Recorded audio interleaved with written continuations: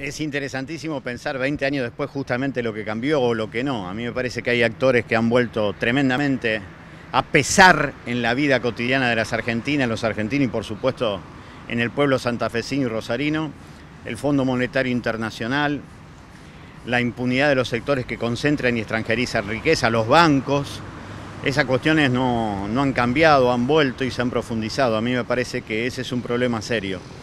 Lo que sí es importante decir que la represión que genera 39 asesinatos, 9 de ellos acá en la provincia de Santa Fe, se genera porque hay una extraordinaria movilización popular durante todo el año 2001, que nosotros hacía día habíamos hecho nada más y nada menos que el FRENAPO, que era el Frente Nacional contra la Pobreza, una encuesta en donde le preguntábamos a la gente si era necesario un seguro de desempleo, asignación universal por hijo y asignación universal por jubilado.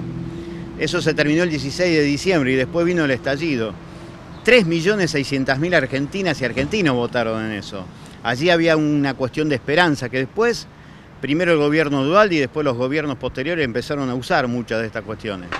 Pero lo que fue fundamental es que hubo una gran movilización, una gran rebelión popular, un decirle no al golpe, al, al estado de sitio que había hecho de la Rúa, y fundamentalmente algo que es muy interesante y que generalmente no se destaca. Nosotros teníamos un nivel de desnutrición infantil inimaginable en un país como la Argentina que es productor de carne, de trigo, de pan, y teníamos chiquitos que las imágenes de la televisión mostraban como si fueran esqueletos vivientes desde Tucumán.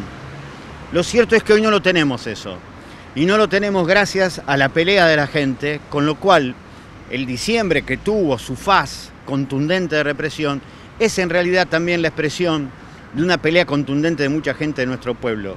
Y algo que sí se ha roto y que hay que reconstruir es la alianza de sectores sociales. En aquellos días la canción era piquetes y cacerolas, la lucha es una sola. Eso hoy parece estar destruido. Sin embargo, es imprescindible reconstruir para que justamente se profundice la democracia a 20 años.